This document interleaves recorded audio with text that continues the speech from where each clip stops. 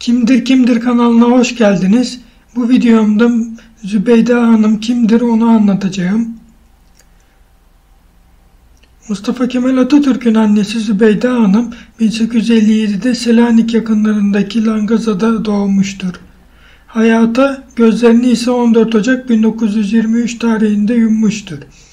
Osmanlı devrinde 2. Mehmet zamanında Karaman'dan Rumeli'ye geçen ve Selanik yakınlarındaki Langaza'da toprak işleriyle uğraşan bir Türkmen ailesi olan Hacı Sofa ailesindendir. 1871 yılında Ali Rıza Efendi ile evlenmiştir. Zübeyde Hanım'ın 6 çocuğu olmuş, sadece Makbule ve Mustafa Kemal Atatürk yaşamıştır. Videomuzun sonuna geldik. Bir sonraki videoda görüşmek dileğiyle kanala abone olmayı unutmayın.